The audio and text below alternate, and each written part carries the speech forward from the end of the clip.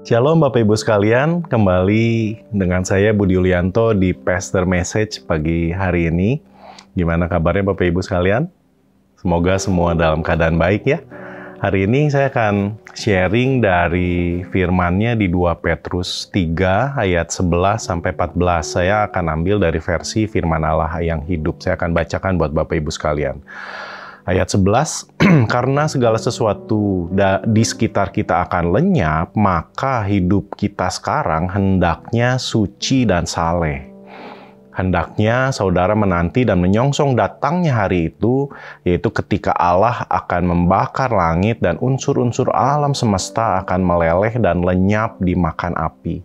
Tetapi sesudah itu, ketika kita menantikan langit baru dan bumi baru yang telah dijanjikan Allah dan yang berisi kebaikan semata-mata. Nah, ayat 14 Sahabat-sahabat yang saya kasihi, sambil menantikan kejadian-kejadian ini dan kedatangan Tuhan, berusahalah hidup tanpa dosa dan berdamailah dengan setiap orang, supaya saudara menyenangkan hatinya pada waktu ia datang lagi.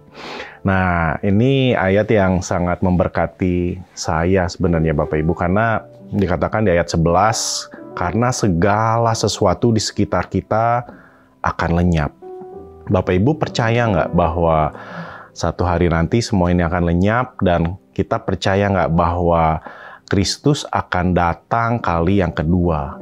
Kalau kita percaya akan hal tersebut, maka hidup sekarang ini firman Tuhan katakan hendaknya suci dan saleh. Suci ini bahasa aslinya adalah hagios anastrofi. Hagios itu artinya adalah sifat alami yang sama dengan Tuhan dan anastrofi itu bicara tentang perilaku. Jadi ketika uh, firman berkata suci, hagios anastrofi itu artinya adalah perilaku yang serupa dengan Tuhan, punya sifat alami dan perilaku yang sama dengan Tuhan. Dan dikatakan di situ juga saleh. Saleh ini eusebia yang artinya sebuah respon atau tanggapan hati uh, kepada Tuhan yang kita hormati dengan cara hidup yang saleh, yang benar di hadapan Tuhan sebagai bentuk penghormatan kita kepada Tuhan yang uh, kita hormati gitu. Jadi mari Bapak Ibu kita percaya bahwa kedatangan Kristus itu sudah dekat dan sambil menantikannya, nah ini gitu ya, yang sering jadi permasalahan adalah kita lebih sering untuk uh, kapan ya Kristus datang uh, mencari-cari waktunya kapan dia datang. Padahal yang terpenting itu adalah dia pasti datang itu yang kita percaya dan sambil menanti kedatangannya itulah yang uh, perlu kita pergumulkan. Ada hal-hal yang perlu kita usahakan yang perlu kita lakukan supaya ketika dia datang dikatakan kita menyenangkan hatinya. Nah, sambil menunggu kedatangannya ini ada firman Tuhan katakan kita ini harus hidup suci dan saleh. Caranya di ayat 12 13 dikatakan yang pertama itu berusahalah hidup tanpa dosa. Kita yang sudah dilepaskan dosa dibebaskan uh, dari dosa oleh kematian Kristus di atas kayu salib. Oleh karena itu, kita harus hidup serupa dengan Kristus. Barang siapa yang mengatakan dirinya adalah orang Kristen, maka ia wajib hidup sama seperti Kristus hidup. Artinya kita harus hidup tanpa dosa karena Yesus pun Kristus pun hidup tanpa dosa. Dan yang kedua itu adalah berusaha berdamai dengan setiap orang.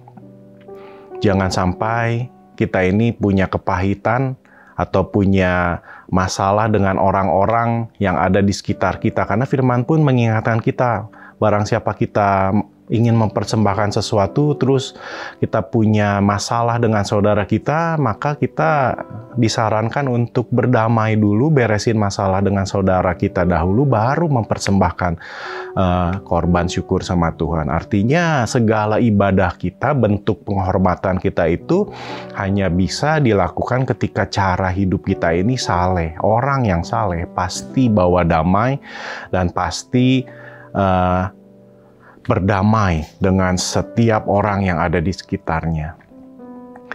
Ini pesan saya pagi hari ini, Bapak Ibu, mari sambil menantikan kedatangan Tuhan, berusahalah untuk hidup suci dan saleh, dengan berusaha hidup tanpa dosa, dan juga berusaha untuk berdamai dengan semua orang yang ada. Supaya pada saat ia datang, Bapak, Ibu, dan saya menyenangkan hati Tuhan. Kiranya apa yang dibagikan ini membantu Bapak, Ibu sekalian untuk terus berjalan dalam iman dan semakin serupa Kristus. Tuhan Yesus memberkati.